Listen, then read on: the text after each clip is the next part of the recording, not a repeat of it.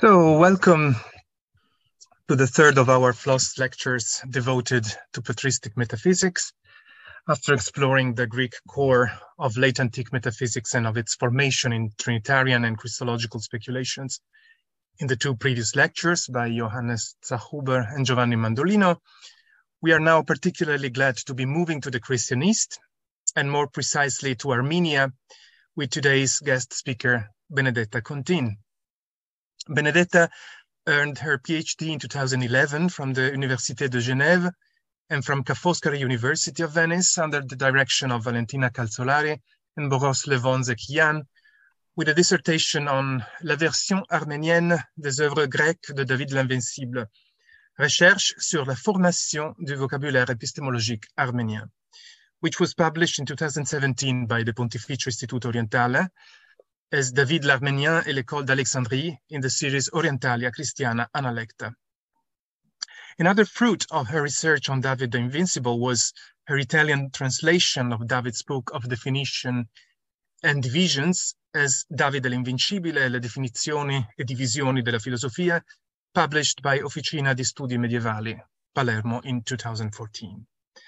After holding postdoc positions at Venice as a Gulbenkian Fellow and at the Foundation for Religious Studies in Bologna, Benedetta has been working for the Nine Salt ERC project of Christophe Erismann at the University of Vienna and is currently working at the same university as a FWF Lise Meitner Projektleiterin, besides being the vice president of the Padus Cultural Association. Based at Venice, Benedetta is also the author of around 20 papers on a wide range of topics in Armenian studies, from modern Armenian history and literature to art and architecture, but she has especially concentrated on philosophy and speculative Christology, and this is indeed the subject on which she will talk to us today. Benedetta, thank you very much for being here, and the floor is yours. I am sharing your PowerPoint presentation. Just allow a second for that. Yeah. Here it Thank is. you very yeah. Thank you very much, Emiliano. And uh, I I would like to thank also Bishara for both of you for your kind invitation. Uh, I'm flattered from your words. Um, so um, today uh, I will speak about uh, uh, a topic uh, which was uh, the main topic uh, of uh, my research uh, during my collaboration with Professor Erismann for the ERC Nine Salt ERC project. Um, it's a quite uh, neg uh, neglected uh, topic for um, scholars in Armenian studies, so it's not so well researched. And um, I, I thought to, to make a preliminary investigation of the material, so um, I, I suggested some conclu or some preliminary observations on uh, on the theological thought, particular of the fathers, church, uh, Armenian church fathers of the early 8th century. Um, I'm not sure uh, my hypotheses uh, are convincing, but I will be happy to discuss with you.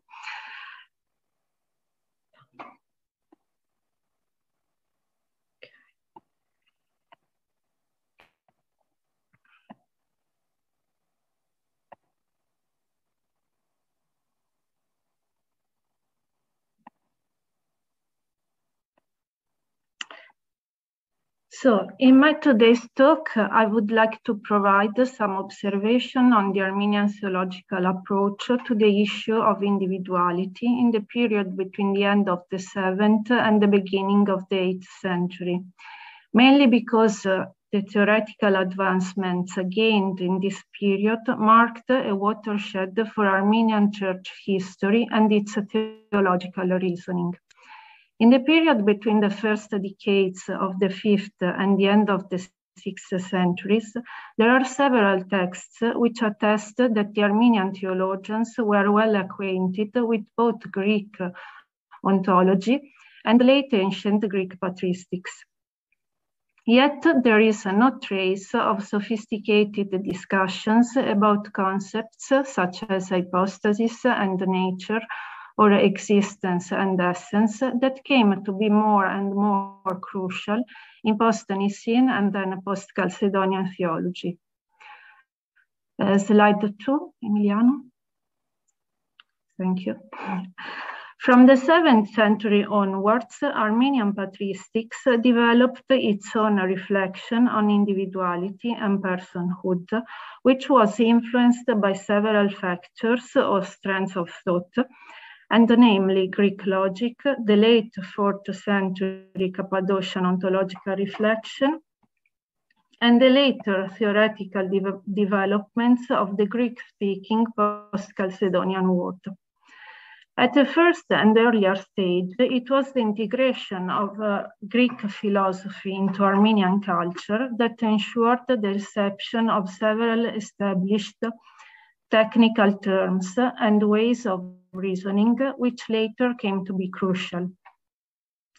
This cultural enterprise was led by Armenian lay scholars who, starting from the early 6th century, established a local educational system that was nourished by a continuous cultural interchange with the Alexandrian philosophical ambience.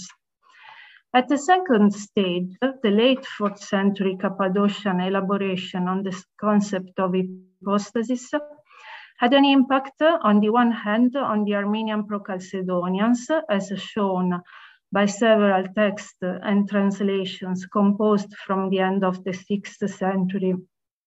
In Constantinople or in the regions of Greater Armenia under uh, Greek Byzantine influence, and on the other hand, on the Armenian non-Chalcedonians by the end of the 7th century. Slide three, please. On a third stage, post-Chalcedonian theories of individual nature and enhypostatized individual stimulated the inception of more sophisticated ways to explain the hypostatic union out of two natures in response to the pro-Chalcedonian parties within the Armenian Church. The influence of this approach is strong in theological texts produced in the early 8th century, as I will show later. Slide 3 seeks to provide an overview of the main texts that discuss the question of the incarnation by applying philosophical terms and methods at different degrees of intensity.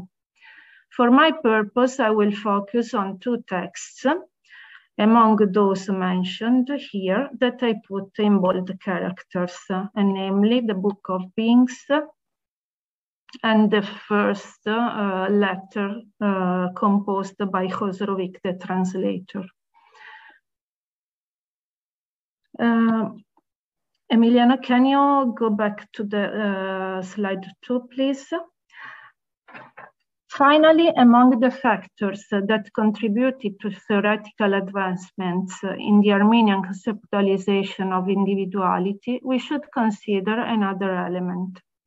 Historically, it represents a later development of the first factor, and namely the acculturation of Greek philosophy to Armenian world, but needs, however, to be treated uh, separately for its paramount importance in clarifying when and how logic and ontology began to be considered not only as philosophical tools, but also and foremost as theological devices. This methodological and concept, conceptual osmosis between philosophy and theology was made possible thanks to the progressive Christianization of the philosophical and rhetorical syllabus established by lay scholars along the 6th century. By means of this endeavor, the trivium was completely absorbed by the church generating thereby substantial transformations of the classical curriculum and ensuring the religious dominance of the domain of higher education in a long-term perspective. Uh, slide five, please.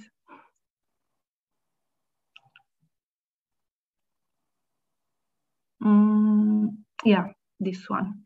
Thank you. In this respect, we have two historical witnesses which are worthy to be mentioned, for they depict the parable of that process of religious appropriation of classical education that developed along the 7th century. On the one hand, the 13th century historian Stepanos Orbelian tells us that at the time of Catholicos Abraham Arbatanitsi, 605, 600, um, uh, 615, there had been a growing demand for education and training in fields of knowledge where the Greeks were believed to excel. On the other hand, slide six, the 10th century historian Hovhannes Drazhanakertsi praises his homonymous predecessor's education in the field of philosophy by stressing his acquaintance with classical and post-classical logic. This enterprise was meant to sustain a provision of philosophical and especially logical training for the upper clergy. Even though the historian's accounts should be treated with uh, caution, it is, however, significant that their records are proved by several theological sources of the 7th century, showing an increasing famili uh, familiarity with philosophical terms and methods when it comes to Christological arguments. One of these textual witnesses is an eclectic collection of pseudepigraphic, philosophical, and theological compositions that the Armenian tradition partly ascribed to the 6th century philosopher David Invincible. This collection contains varied, short, and still neglected com commentaries of exceptional interest, such as, for instance, two long interdependent texts uh, respectively entitled Book of Beings and Questions Addressed to the Heretical Diophysites by the Holy Armenian Church doctors Moses and David. The former is a compendium, namely the Book of, uh, of Beings, is a compendium of philosophical knowledge that was composed for a target audience, most likely dogmatists and rhetors. Although it's a technical content, the purpose of the book is visibly related in some sense to Christology by the choice of discussing crush, uh, crucial terms such as nature, substance, and form, as well as of dealing with the intersectorial concepts such as person, energia, activity, generation, corruption, potentiality, and the soul's passions. In this respect, we can advance the hypothesis that the Book of Beings was used as a sort of handbook for future dogmatists, um, uh, um, embodying a stage of transition from using logic and ontology for philosophical reasonings to using them for theological purposes. Apart from, from spelling out the difference between a nature, existence, and substance that calls into question the scholarly opinion that the Armenian Church Fathers of the first millennium would have not put forward a clear demarcation between such terms. So, apart this, the author of the book seeks to introduce a distinction between person in Armenian eh, them, and in Greek prosopon, and the hypostasis, by means of Aristotle's matter-form theory and of the notion of accidental and distinctive properties that ultimately relies on Porphyry's theory of individuality. Even so, uh, not clearly spelled out, the author has in mind a twofold way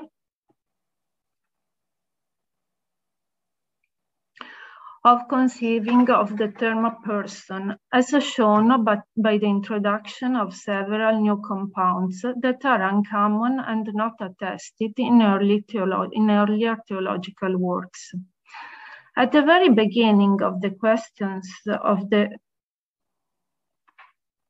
um, can you scroll the slides, Emiliano, please? Yeah, it's, uh, thank you. At the very beginning of the question answer text that I choose to enter on the slides, the author of the book marks off the notion of form recipient person from that of formless person, without, however, clarifying the uh, rationale of this division. In my view, the first distinction between a formless and form recipient person suggests two possible and even complementary readings.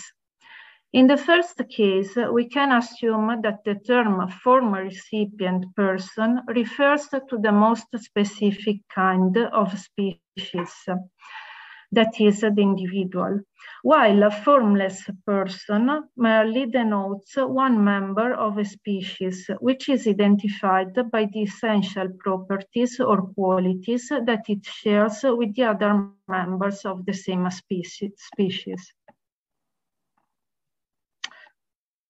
but is not marked off by any distinctive characteristics or hypostatic idioms. In this case, formless person could refer to the total sum of all the hypostases that belong to a species. According to a second interpretation that reads our passage in light of Aristotle's matter-form theory, the concept of form recipient person comes to denote the form matter compound, which by receiving some distinctive, properties becomes a concrete particular instantiation of the common nature. Instead, formless person should be considered as the subject or substratum that is the matter of the composite subject man. By using the term formless person, the author of the book intends to describe the material constituents of man, that is flesh and bones, in which form inheres or of which it is predicated, as far as form is not essentially predicated of matter. By contrast, formless person uh, so a formless person turns out to be a not yet qualified individual, lacking its todety forming function that is constituted by, by its essential form, as well as by its accidents.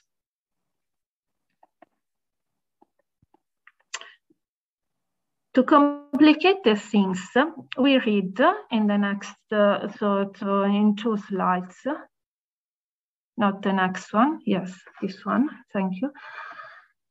We read at the end of this excerpt that person is it is such and what reveals the characteristics idioms, characteristic idioms where the author uses a not yet exploited term, arans eh, in Armenian, aransnakan, aransnakank.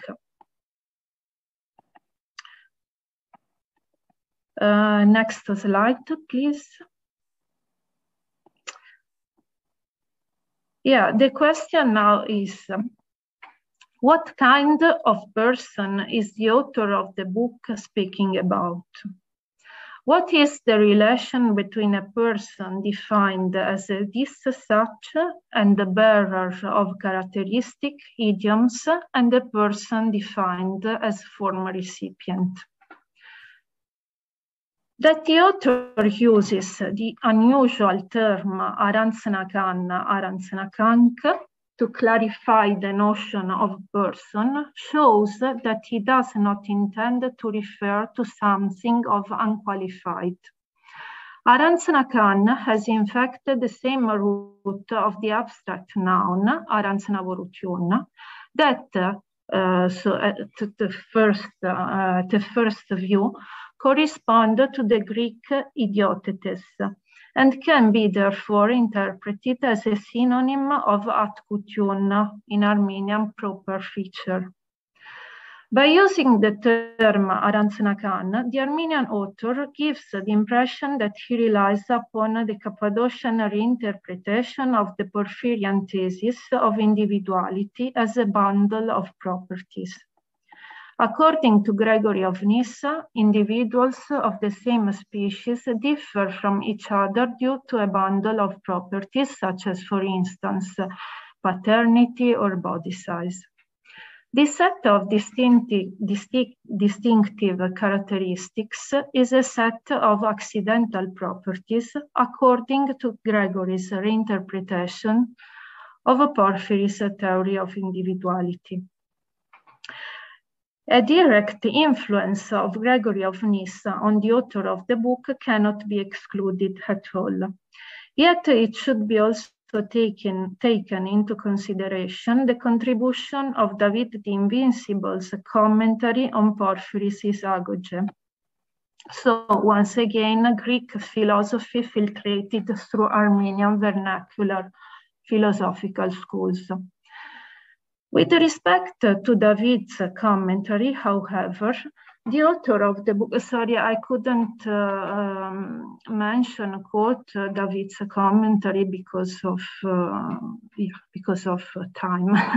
I have not enough time to to delve into this question.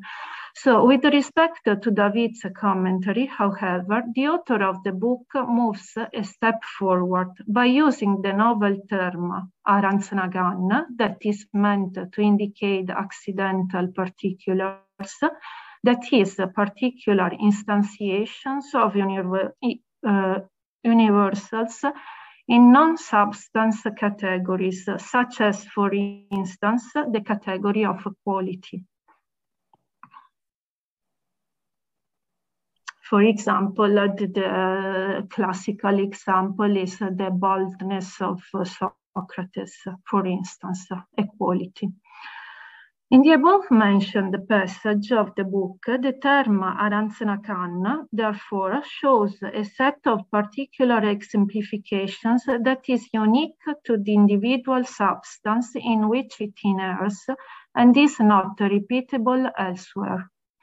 It reveals the states that particular substances are in when they instantiate that state, insofar as, for instance, a bald thing is not, is not only a the determinate severity of baldness, but a particular instantiation of such a degree.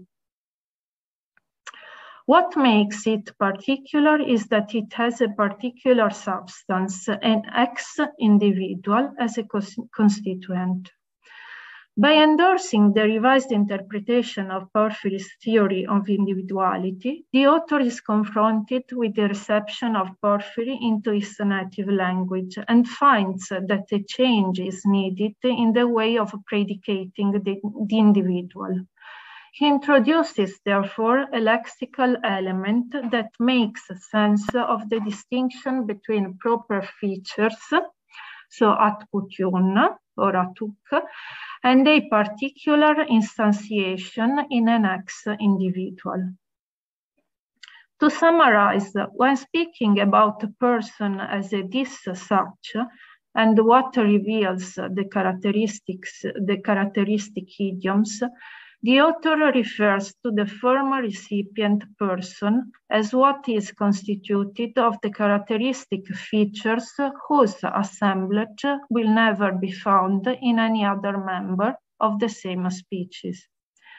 The concept of formless person is most likely used for describing the substratum of any living being. In all likelihood, by using formless person, David means a composite of material parts, then that, when receiving its proper form, becomes a new matter form compound.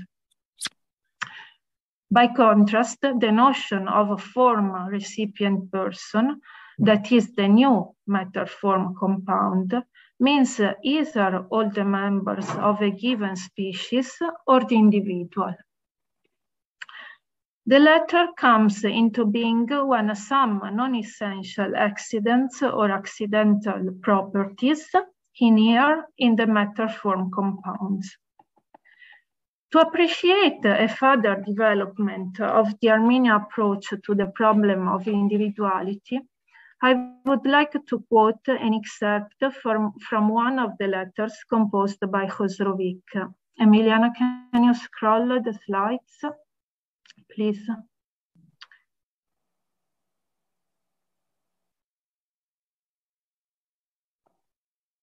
Yeah, it's not this one, it's a slide number uh, 13. Again. Uh, yeah, thank you. So uh, Khosrovik was one of the most intimate friends and collaborators of Catholicos Hovhan of Odzun. So we are at the beginning, first half of the uh, 8th century. By drawing the fourfold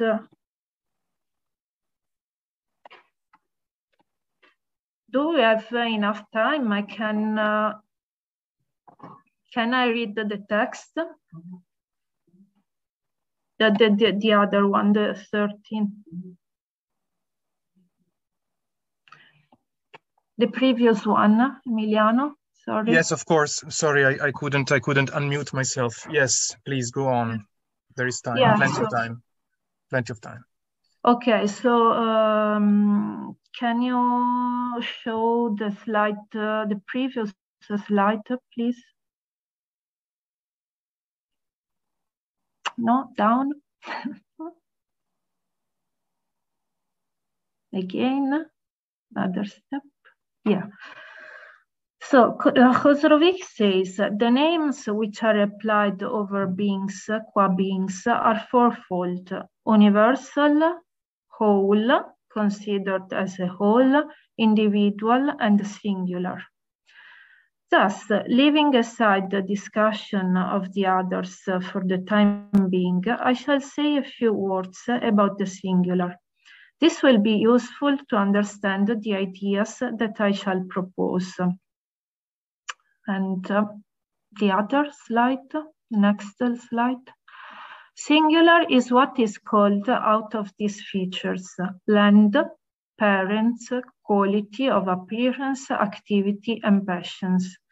Any singular is therefore separated from the common by all these features whose collection is not seen at once in any other singular.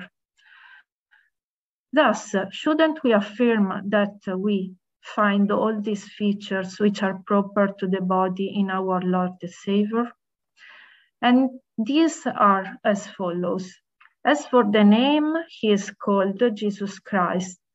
As for the place of origin, Jesus of Nazareth, by having the Holy Virgin as parent, and as for quality, the likeness by which he knew the others and was known. As for activity, the evidence that he performed wonders among men. As for passions, the fact that he was baptized, crucified, and buried, and by the fact that he resurrected after three days and ascended to heavens, and those things that followed. So uh, by drawing the fourfold distinction of the names by which beings are called, Khosrovik relies once again on Porphyry's theory of individuality as found in his introduction, but also on the Book of Beings and David the Invincible's commentary on Porphyry's Isagoge. In David's commentary, we read, For a particular, and I quote, for a particular word is one thing and the singular is something different. For a particular is indeterminate, for example, a man, and the singular is a determinate, like Socrates or Plato. The Armenian term for singular, Yurakanjur, used in the Armenian version of David's commentary is the same word used by Khosrovik, so Yurakanjur. In this, in the slide we I uh, I read before. By applying a by applying Porphyry's theory through David's interpolation to his theological reasoning,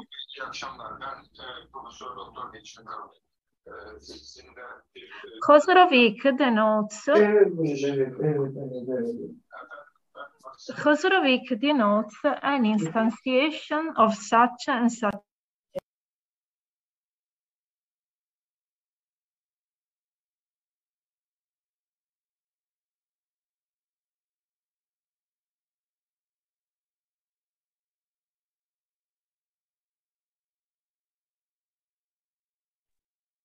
Benedetta, we cannot hear you anymore.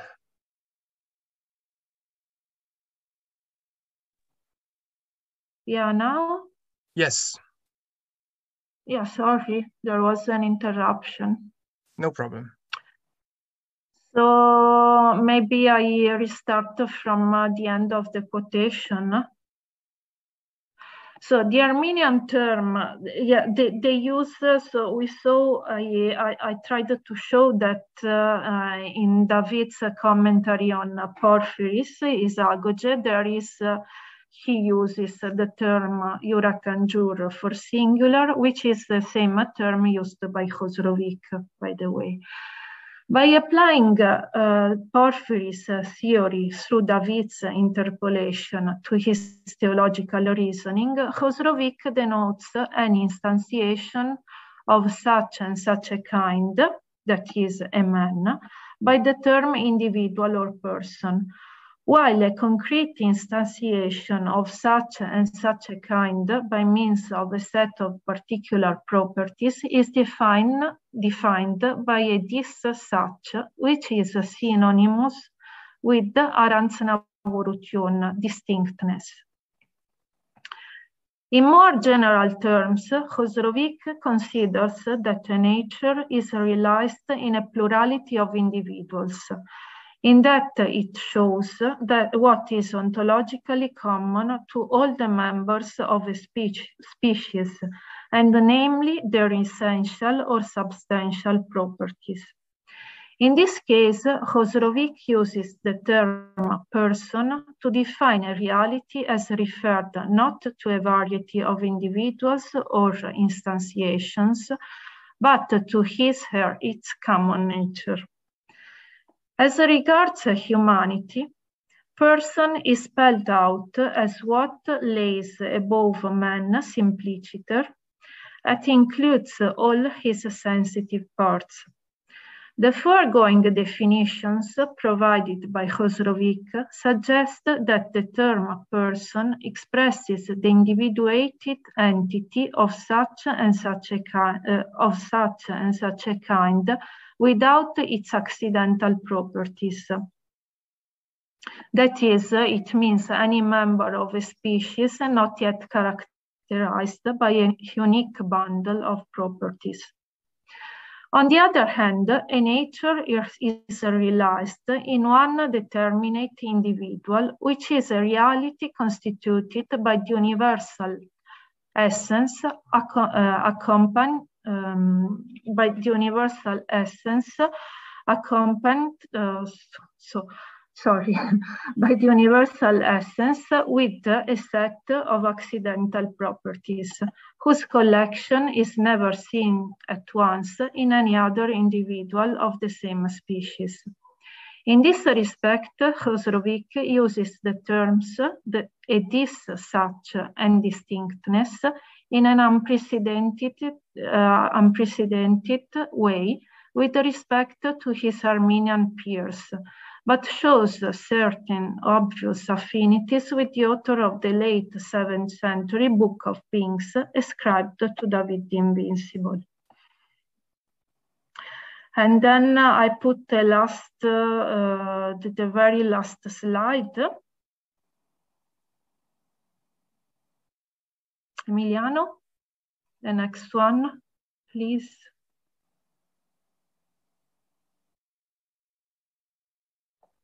Yeah, you see here uh, a very telling definition of, uh, of Jesus Christ made by Khosrovik. At the end of this quotation, uh, he says, and he who had the timeless common nature and the distinct and particular person from the Father, the same also became a man endowed with nature, person, and distinctness according to time. So, uh, thank you very much for your attention. I would uh, like to discuss with you all what I said, and uh, I'm grateful for your attention.